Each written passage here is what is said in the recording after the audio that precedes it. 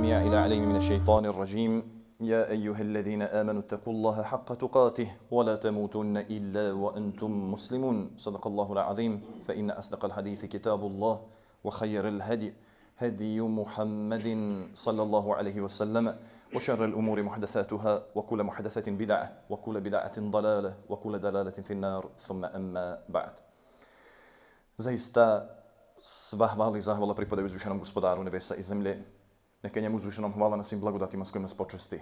Neka mu neizmjena hvala na blagodati Kur'ana i Kerima koja je uputa bogobojaznim i onima koji razume imaju. Neka je potpuni Allahu dželle ve ala mir i spas na njegova miljenika i posljednjeg poslanika, učitelja svijeta Muhammeda sallallahu alaihi wa sallam, njegovu porodicu, drugova sahabi na sve one koji ga doslovno slijede do sudnjeg dana. Allahumma amin. Draga braćo, cijeni vjernici, salamu alaikum wa rahmetullahi wa barakatuh.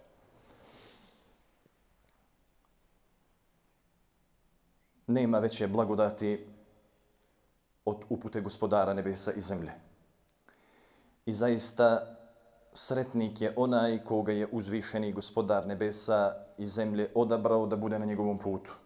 Odabrao ga da bude njegov rob i da njega uzvišenog obožava onako kako on uzvišeni traži od njegovih robova da se obožava. I zaista za sebe mogu reći ljudi na zemlji da su dostojanstvenici, odabrani elita, oni koji su uspjeli da svoje srce ispune bogobojaznošću. I zaista elita na zemlji i oni koji zaista zaslužuju svo poštovanje i respekt su oni koji se najviše boje uzvišenog gospodara nebesa i zemlje. Jer on uzvišeni kaže inna akramakum inda Allahi atqakum elita, najbolji, najplemenitiji na zemlji su oni koji se najviše boje gospodara, gospodara svih svjetova. Poslanik sallallahu alejhi ve selleme za one koji čuvaju granice gospodara svih svjetova, koji izgrađuju bogobojaznost u svojim srcima, kaže oni koji se boje Allaha subhanahu wa ta'ala, oni su dostojanstvenici na zemlji i oni su štićenici gospodara. Oni su oni koji dostojanstveno hodaju zemljom i oni koji imaju zaštitu gospodara nebesa i zemlje. A zaista je čovjek priželjkuje i jedno i drugo. Prestiš da bude neko i nešto na zemlji, da bude elita na zemlji, a to može samo postići putem bogobojaznosti. Ili onaj koji uspije da ispuni svoje srce bogobojaznošću. A također svaki od ljudi traži zaštitu od gospodara od gospodara ljudi. I nemoguće je opstati na zemlju bez Allahove tevarke o tajla sigurnosti. Njegove zaštite. I to je uh, u prirodi duše da čezne za jednim i drugim. S tim što ljudi imaju pogrešne puteve ili percepcije kako postići da bude elita na zemlji i kako postići sigurnost i zaštitu. A vidimo da ovdje poslanik sallallahu alejhi ve selleme nam daje do znanja da oni koji žele dostojanstveno da hodaju zemljom, mogu to postići samo putem bogobojaznosti. A ako hoće štit, potpunu zaštitu, da im niko ne može nauditi na zemlji, ona se samo postiže također putem, putem bogobojaznosti.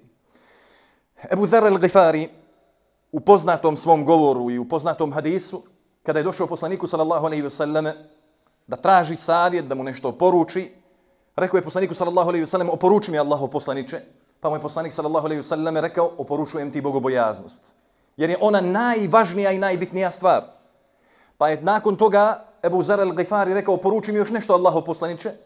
Pa je poslanik sallallahu alaihi ve selleme rekao, poručujem ti učenje Kur'ana. Jer zaista je on svjetlost na zemlji i obskrba na nebesima. Iz ovog savjeta poslanika sallallahu alaihi ve selleme prema Ebu Zeru. Ili savjeta Ebu Zeru. Vidimo da dvije stvari bez koje čovjek ne može funkcionisati na zemlji i nemoguće ostvariti uspije na zemlji i nemoguće ostvariti lijepu završnicu i lijepu budućnost, a kada kažem lijepu budućnost mislim na ahiret, osim kroz bogobojaznost i učenje Allahove te barake od knjige. I ne samo učenje, kada kažem učenje mislimo da ono što naučimo primijenimo u praksu i u svoj, i u svoj život. Svjedoci smo da jako lijepo živimo. I u razgovoru jutro sa jednim, sa jednim bratom razgovaram o određenom problemu gdje on kaže sve mi je Allah te barake od ta'ala dao. Sve, apsolutno sve. Imam sve, ali ima određeni problem. I taj problem guši.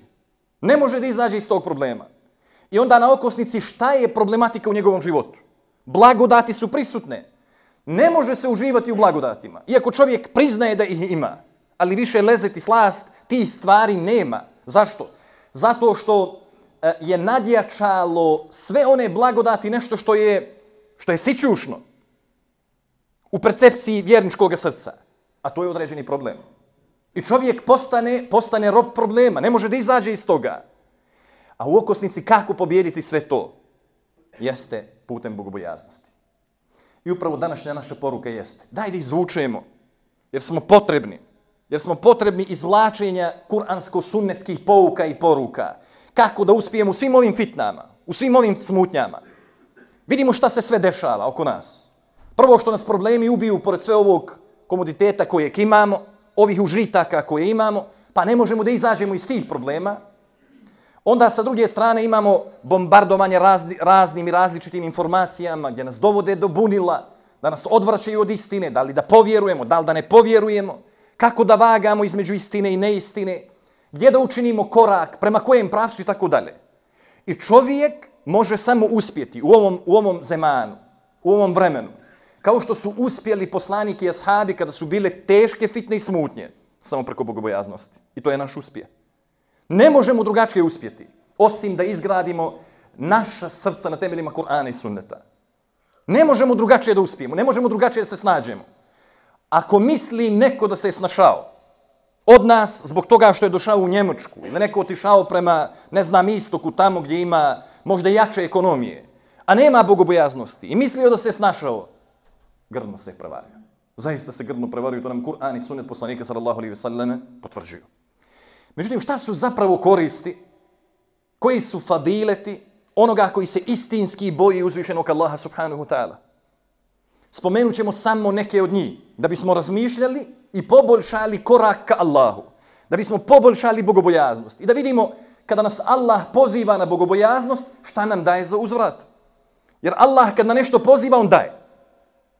On ne uskraćuje. Da nas je na nešto pozvao da nam nije dao za uzvrat. On nas poziva da se bojimo njega. Zapravo da čuvamo granice gospodara nebesa i zemlje koje on postavio na zemlji. Ne zbog njega. Njegov dignitet, njegova veličina, njegova uzvišenost. Hoćemo li ga mi obožavati ili nećemo. Ona je savršena i ona ne ovisi od nas. Sićušnih stvorenja. Niko da mu ne čini na zemlji. Seđdu. On je uzvišen. On je jak. On je moćan. On je stvoritelj nebesa i zemlje ali granice koje nam je postavio, postavio ih je na zemlji zbog nas. Zbog našeg, zbog našeg uspjeha ili neuspjeha, ukoliko ih pređemo, ukoliko ih ne poštujemo. Međutim, kada nam gospodar govori o bogobojaznosti, on nam prvo ukazuje da onaj čovjek koji se boji Allaha, on je na uputi. I kada otvorimo njegovu knjigu, kada otvorimo mushaf, vidjet ćemo nakon prvog poglavlja, nakon Fatihe, u kojoj je sadržan kompletan teuhid, kada počnemo učiti drugo poglavlje sure El-Bekara, vidjet ćemo da uzvišeni gospodar nebesa i zemlje kaže Alif Lamim, ذلك الكتاب لا la فيه هدى dalil muttaqin, Alif Lamim, zaista je ovo knjiga koja, u koju nema nikakve sumnje, koja je uputa onima koji su bogobojazni. Šta to znači? Onaj koji je bogobojazan, on je na uputi. Onaj koji se pridržava Allahove te barke od tala knjige, on je na uputi. I onaj koji je na uputi, on ne može biti na zabludi. I on ne može biti od onih koji su nesretni Pa makar izgledali u očima drugih ljudi da smo nesretni. Mi smo u očima gospodara nebesa i zemlje. Koliko smo puta sa ovog mimbera, koliko smo puta u predavanjima slušali kada se ljudi obraćaju kako da izađu iz određenog problema ili se jadikuju na život koji imaju. Da su jadni, da su nesretni. I zaista su jadni i nesretni oni koji ne obožavaju Allaha subhane. A vidite kako Allah kaže, ومن اتبع هداي فلا يضل ولا يشقى onaj koji slijedi mene on ne može biti na zabludi i ne može biti od onih koji su nesretni ali ko je nesretnik ومن اعرض عن ذكري فان له معيشه ضنكا onaj koji se okrene od mene on će živjeti teškim životom on je taj koji je nesretan ima li veće, većeg zadovoljstva. Sinoć u razgovoru uh, sa, nekim, sa nekim ljudima, gdje jednostavno kad odemo kod, povedemo djecu, dijete vrijedno, dijete ima nekakav svoj princip života, ne znam, ili čovjek i tako dalje, i onda e, u datom momentu, znaš, šeitan ga zavara. I onda moramo da se javimo u nekakvoj instituciji, da ih ne spominjem koje institucije, i onda nam one daju dijagnozu. Odmah nam dadnu dijagnozu, ne znam, depresija, ne znam, nervoza, pun si nervoze, pun si depresije, pun si ovoga, pun si onoga, uzmi ovo, uzmi ono, i čovjek dođe kad brate, imam depresiju. Pa kako da nemaš depresiju, brate moj, kad nikad Allahu nisi pao na seđdu? Kako da nema depresije kad gospodar kaže bit će nesretan, bit će težak život? Za koga? Za onoga koji se okrenuo od mene. Zašto ljudi ljudski faktor? Zašto da liječimo sebe kod ljudi? Duševne bolesti se ne liječe kod ljudi. To je najveća prevara na zemlji. Duševna bolest se liječi kod gospodara nebesa i zemlje. Kroz Kur'an, kroz sunnet poslanika sallallahu alaihi wasallam. I onaj koji je na uputi, ne može on biti nervozan. Ne može on imati depresiju. Oni koji uče Allahu u Tebarake otala knjigu nisu depresivni. Nemaju depresije jer Allah kaže zar kada se uče Allahu i Tebarake otala ajeti ili oni koji uče Allahu u Tebarake otala knjigu, zar se njihova srca ne smiruju? Kako može biti srce koje uči Allahu u Tebarake otala knjigu depresivno? Nima depresiju u sebi. Nemoguće. Jer stvoritelj tog srca je dao garant da ne može biti depresivno to srce. Ali onaj koji nije na uputi, te kako je u depresiji, te kako je u problemima. I zato onaj koji se istinski boji Allaha subhanahu wa ta'ala, on je na uputi. On ne može biti nesretan. Ova dva kuranska ajeta su lijek za srećan i nesrećan život. Kako da čovjek izađe iz svih tih problema? Uputa je ono što je osnova. Bogobojaznost je ono što donosi čovjeku sreću. I ono što nas izvlači iz problema kao druga korist, da se izvučemo iz problematike u kojoj se nalazimo i da nam Allah iz te problematike još plus dadne, dadne obskrbu. Pa uđemo u određeni problem, Allah dadne ishodište i ne samo što nam dadne iz tog problema da izađemo sa poteškoćom ili sa lahkoćom, on nam dadne lezeti slast u tim određenim problemima i još plus nas nagradi i dunjalučki i ahiretski. To nigdje nema osim kod gospodara nebesa i zemlje. Kada prema ljudima pogriješimo, I kada im tražimo halaluk, niko nam ne dadne 50, 100 ili 1000 eura. Niko. Da nas nagradi što smo ga povrijedili. Da nas neko nagradi kad mu tražimo halaluk što smo ga vrijeđali. Po Allahovoj te barake utala zemlju. Ja nisam čuo da je neko nekom dao hediju. E, bala, dođeš, evo ti brati 1000 eura. Vrijeđio sam, bujru. To su radile priješnje generacije, toga nema više. Međutim, kod gospodara nebesa i zemlje, čak kada se ogriješimo prema njemu, kada mu se vratimo i kada uđemo u probleme, Gdje nas on poziva kako da izađemo iz problema? وَمَا يَتَقِ لَا يَجْعَلَهُ مَحْرَجَا Oni koji se istinski boje Allaha subhanahu wa ta'ala, on im daje izlaz iz svake situacije. وَيَرْزُقْهُ مِنْ حَيْثُ لَا يَحْتَسِبْ I obskrbljuje ih odande odakle se oni najmanje nadaju. I bogobojaznost ovdje donosi dvije stvari. Kada se nađemo u određeni problem i kada mislimo da je došao kraj, da nema izlaz, Nikada Allah nije dao male, male otvore, da kažem rupice, da se prodlače vjernici kroz njih. Ne. Vjerniku i, kada, i poslaniku sallallahu alaihi wasallam i ashabima, kada su dovedeni do zida ili zidine, gdje u percepciji ljudi se mislilo da je kraj, Allah te barake o ta'ala im je o, ne, ne otvarao male otvore, već ogre, ogromne kapije od istoka do zapada. E tako je to u, u, da kažem, u igri ili trgovini između gospodara nebesa i zemlje, gospodara nebesa i zemlje njegovi, njegovi stvorenja. I uvijek Allah te barke otala će svojim robovima dati izlaz. I kad nam dadne izlaz iz određenih problema koje imamo, on nas obskrbi obskrbom koja nam donosi smiraj. Koja nam donosi smiraj. Pa onda čovjek zahvaljuje još više Allahu subhanu wa ta'ala što mu je dao problem. Nakon što mu je dao izlaz, Allah mu dao počast. E takva je bila trgo, takva je bila, takav je bio postupak gospodara nebesa i zemlje prema poslaniku sallallahu alejhi ve sellem i ashabima. Zamislite kada čovjek ima veliki i ogromni problem i nakon tog problema Allah mu dadne izlaz, još mu dadne počasti. Nema da kaže, vala gospodaru što mi dade ovo. Nego kaže, gospodaru, neizmjerna ti hvala na blagodati iskušenja i na ovim počastima koje si dao nakon iskušenja što si mi dao izlaz da izađem iz njih. I mi ne možemo izlaziti iz problema osim kroz Kur'an i sunnet. Ne možemo izaći iz problema i da očekujemo obskrbu osim kroz bogobojaznost. Ovdje je potvrda u ovom kuranskom, u ovom kuranskom ajetu. A ono što je pored toga jako bitno jeste kada imamo gospodara nebesa i zemlje ono što je što je e, jedna od koristi bogobojaznosti da imamo zaštitu gospodara svih svjetova. I to nam je to nam je to i, i te kako neophodno upravo u ovim svim vremenima gdje je ljudski faktor toliko prisutan e, u činjenju zla prema ljudima, da nam je neophodna Allahova te barake od tala zašta 24 sata. Ona je bila potrebna i poslaniku, sallallahu alaihi ve. Jer zlo vreba sa svih strana. I one u različitim formama. Čak i onim formama kada se nikada čovjek ne bi nadao da može biti u takvoj formi. I onda je neophodna Allahova te barake od tala zaštita. I zbog toga je poslanik, sallallahu alaihi ve selleme, prizivao gospodara svakodnevno, učio mu dovu, da ne, da ne bude poslanik sallallahu alejhi ve selleme prepušten samom sebi koliko trepta joka, nego da bude pod zaštitom gospodara svih svjetova. A šta uzvišeni kaže? Wallahu waliyul muttaqin. Allah je zaštitnik bogobojazni. Allah je zaštitnik bogobojazni. A koga Allah uzme u zaštitu, nikomu ne može nauditi. Nikomu ne može nauditi, on je pod zaštitom gospodara svih svjetova. Koliko god da je teško na zemlji, koliko god misle da nam neki mogu nešto nauditi, samo Allah subhanahu wa ta'ala, kako kaže, kako kaže naš salaf, čisti i dobri, kada Allah te barake wa ta'ala u tom pravcu dadne iskušenja, onda se to može gledati kroz dva pravca. Jedan je čišćenje od grijeha, a drugi pravac jeste da ređe prema gospodaru, prema gospodaru nebesa i zemlje. I zaista je to počast. Ali nema funkcionalnosti na zemlji bez zaštite gospodara svih svjetova.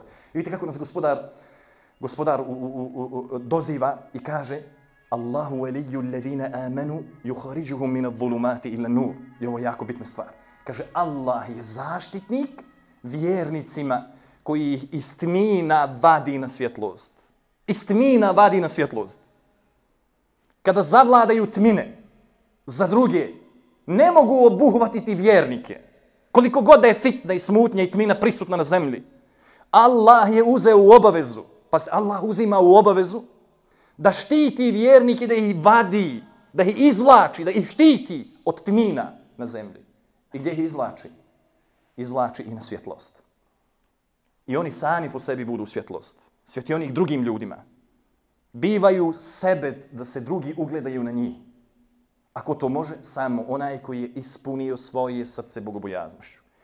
I onda kada čovjek ostvari zaštitu gospodara nebesa i zemlje, kao jedna od tih koristi u bogobojaznosti, korist da čovjek, da čovjek ima znanje, moć rasuđivanja putem bogobojaznosti i da mu to bude sebet. Pa da bude sebet, da raspoznajemo istinu od neistine, da nam bude sebet također koristi od, od bogobojaznosti, da Allah prelazi preko hrđevih dijela i da oprosti grije. A kako to postići? Vidite, nekad kažu potrebno je, potrebni su mudri koraci u životu. I te kako su potrebni mudri koraci u životu. Mudrost se postiže samo kroz jednu prizmu, a to je prizma bogobojaznosti. Akademska ta zvanje i referenci ispred imena i prezimena, onaj, one čovjeka ne čine mudrim, vjerujte. Kaže mudar čovjek. Kako može biti mudar čovjek nikada Allahu pao na seždu nije? Kako može biti mudar čovjek nevjerni koji ne vjeruje gospodara nebesa i zemlje? Kako on može da vuče mudre poteze? Nemoguće je. Gdje, gdje leži mudrost? Mudrost leži u bogobojaznosti. Šta nam je potvrda za to? Rasuđivanje istine od neistine. E to je mudrost. A svaka stvar, ona iz, iziskuje tu mudrost. Razlučiti da li je na vagi šerijeta vrijednost ili nevrijednost. Da li je istina ili neistina. Kako se ona postiže? upravo kroz bogobojaznost gdje uzvišenja Azza uđele kaže Ja ejuhel ladina amanu in tattaku Allah lakum furqana. O vi koji vjerujete, ako se budete bojali Allaha, Allah će vam dati furkan, rastavljač istine od neistine.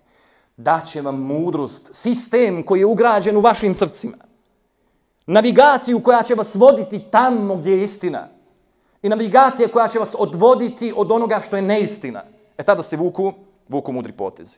A nakon te bogobojaznosti, šta Allah Žešanu kaže? وَيُكَفِّرَ عَنْكُمْ سَيِّئَاتِكُمْ وَيَغْفِرْ لَكُمْ I Allah će preći zbog te bogobojaznosti preko vaših hrđevih dijela i oprostit će vam, oprostit će vam grije. I zaista je to velika, velika, velika, velika sreća i velika počast od za vjernike. Ono sa čim, sa čim ću završiti današnju, današnji prvi dio hudbe ove naše teme jeste da oni koji su bogobojazni, Allah te barake o ta'ala ih voli. Pa ima li veće počasti da kada su ove fitne i smutnje, kada ljudi jedni druge ne mogu očima vidjeti, a to smo svjedoci. Mi u porodici ne možemo jedni druge da gledamo. Zbog čega? Zbog, zbog naše iskrenosti ili neiskrenosti? Zbog naše bogobojaznosti ili nebogobojaznosti? Očima vrijedni ljudi ne mogu da se vide samo ukoliko u našim srcima nema bogobojaznosti. Da, vo, da ne volimo ljude, vrijedne ljude na zemlji, koji imaju dignitet kod gospodara nebesa i zemlje. Ne možemo da ih volimo samo zato što su naša srca prljava. Kada volimo Allaha subhane i kada nas Allah voli, nemoguće je da ne volimo one koji vrijede na zemlji. I nemoguće je da, budemo, da ne budemo u njihovim krugovima. I nemoguće je da ti ljudi ne budu u našoj blizini. Jer se sve lomi na nebesima, da tako kažem. Da bi došlo do tog čovjeka kojeg ljudi smatraju da nije bitan na zemlji, da mu se približe oni koji je voli Allah i oni koji vole Allaha. A Allah kaže, inna Allahe yuhibbul muttaqin. Allah voli one koji su bogobojazni. U poznatom hadisu, koji je e, podstrek ljudima da zavole Allaha. I upravo kada se ljudi žale na, na, na taj nedostatak ljubavi na zemlji, da jednostavno ovaj hadis poslanika sallallahu alejhi ve sellem bude postre kako da sebi pridobije ljubav koja će mu biti sigurnost i na dunjalu koji na ahiretu. Kada Allah zavoli svoga roba, kako kaže poslanik sallallahu alejhi ve selleme, počasti, ja rab. On zove Džibrila. To nam je svima dobro poznato. Zove Džibrila. I kaže, Džibrile, zavolio sam tog i tog čovjeka u Dortmundu. Voli ga i ti. Pazite, sad Džibril zna za njega. Sićušan čovjek. Možda mu ljudi ne pridaju pažnje u Dortmundu ili na nekom drugom mjestu. Ali mu pridaje pažnju Allah i pridaje mu pažnju Džibril. Sada Džibril zna za njegovo mjesto boravka. Zna za njegovo ime i prezime. Šta ga je dovelo do tog stepena? Nekakav užitak na zemlji u blagodatima u kojim on uživa ili nekakva akademska znanja? Ne, vallahi. Nego bogobojaznost. Jer ga Allah zavolio. A kada Allah zavoli svoga roba, on to ne taji, ne krije samo za sebe, nego obznanjuje Džibrilu. I onda kaže Džibril gospodaru, kaže zavolio sam ga gospodaru. E kaže sada obavijesti sve stanovnike na zemlji, a kako Kur'an i Sunne definišu broj stanovnika na nebesima, samo Allah njihov broj, broj zna. Niko drugi. I onda Džibril pozove i kaže Allah i ja volimo tog i tog roba, kaže volite ga i vi. Pa ga onda svi stanovnici zavole. Vidite šta se dešava u Vasijoni. Šta se dešava na nebesima? Kada Allah zavoli svoga roba. I onda Allah dadne ono što je jako bitno jeste.